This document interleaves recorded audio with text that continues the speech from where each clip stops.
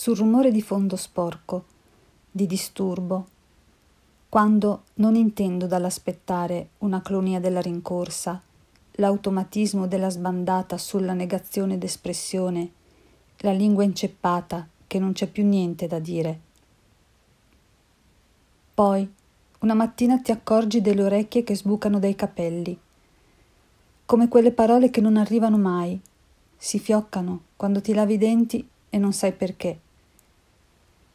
Come camminare sull'orlo di una battigia che dissemina i passi delle sparizioni e le restituisce purificate, di una schiuma bianca, imprecisa, gonfiata di niente.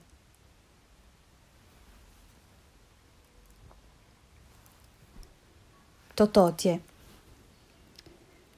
Il piccolo saluto che mi faccio, nella buonanotte che mi dico, tiene stretta l'esile paura della ribalta, di una morte scesa di picchiata, inesorabile, così definitiva come certi vuoti di memoria o di pensiero, quando tutto si fa sguardo, e guizzano bagliori nel raggio di fuoco di un cerchio confinante.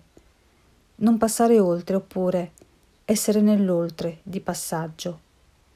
L'indifferenziata appartenenza al caso, la dilatata pupilla, la pupilla dilatata, che dal sé recede leggermente.